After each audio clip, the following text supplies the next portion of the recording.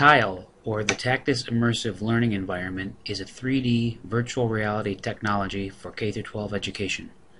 With TILE, students can experience realistic interactive simulations and instructional materials that enhance learning. Tile titles can be viewed in the classroom using standard projectors, and students can also take the software home or use it in school computer labs.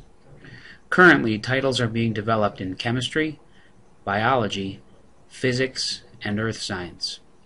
The first commercially available title, The Atom, features 3D simulations of atomic structures and explores the entire history of our understanding of the atom.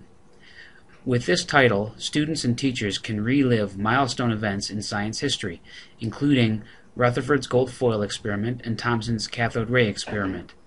Students also learn about atomic concepts such as isotopes, atomic mass, and atomic number. Titles to be released soon include The Cell, a virtual exploration of the basic building blocks of life, Motions and Forces, an exploration of basic Newtonian physics, and Earth Science Fundamentals, a simulation-based overview of the Earth's natural forces. For more information, go to tactustile.com.